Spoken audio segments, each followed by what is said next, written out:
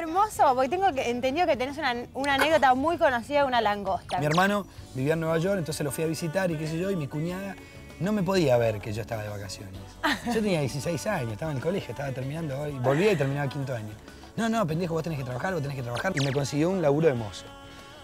Y este, un restaurante francés, hiper pituco, ¿viste? Y yo apenas levantaba la, la mesa en mi casa. ¿viste? Claro, Nene, levantá los platos. El plato, nene, el plato. Sí, papá, ya voy. Entonces, eh, claro, viste, Eh, aprendí que había que entrar por derecha o por izquierda. Y había una mesa muy copetuda y había una señora que tenía Ay, no. un vitel toné acá arriba, viste. Había pedido una langosta y, viste, la langosta cuando viene entera viene, viene la pinza, que es mano de tijera, viste. Son dos, dos tijeras así. Digo, bueno, voy a sacar la langosta y cuando paso la langosta se la engancha la mina acá.